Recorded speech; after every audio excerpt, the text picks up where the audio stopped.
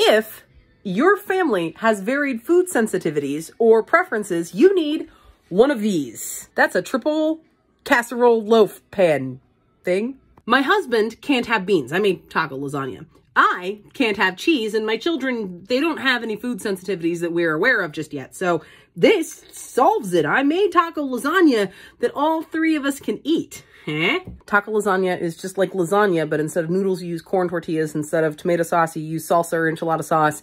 And instead of like normal hamburger meat, you use taco meat.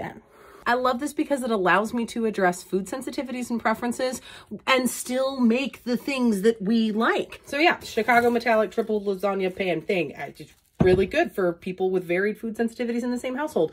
Also cool if you're super indecisive and just want to make three different types of casseroles, lasagnas, or bakes at the same time. I dropped it in my store. You know where to look.